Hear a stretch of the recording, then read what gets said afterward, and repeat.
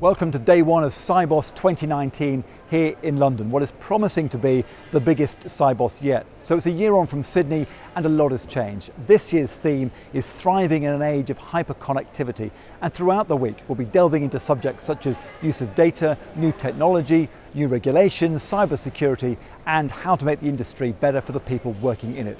There's plenty to look forward to.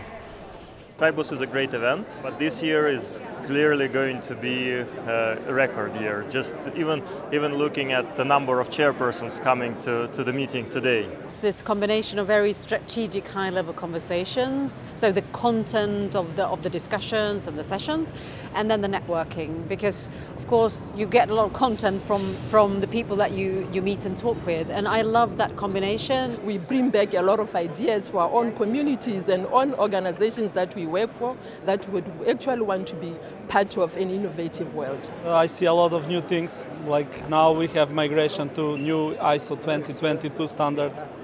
We have GPI, payments controls, and many other. Sibos is the, the single event that we do every year in a big way. And, and the reason is that Sibos brings together the, the right level of people that we can have the discussion with. It's a much more efficient way to do it than traveling all over the world. The Governor of the Bank of England, Mark Carney, welcomed delegates to London and gave us his take on the industry. It's great to be part of this year's Sibos conference, which is being hosted in London for the very first time. As this conference recognizes, the world's becoming increasingly digitized and hyperconnected, and that's bringing enormous new opportunities and along with it, some challenges. This new economy requires a new finance, a new finance to serve the digital economy.